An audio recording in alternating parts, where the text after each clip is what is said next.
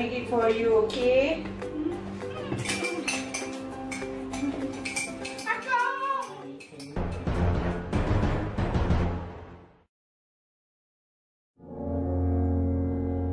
Hiya, I always tell you to throw away the medicine. See what has happened? Ayah, I know lah, I know lah. You're so stubborn, no.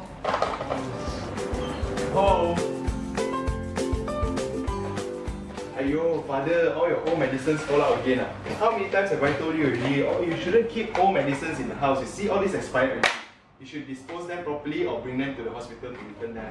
Ayah, so troublesome. Limo? Limo, can you come here? Yes. Help me flush these medicines down toilet or sink or just burn them. I don't want to see them anymore. Oh, Because they expire already, Ayah.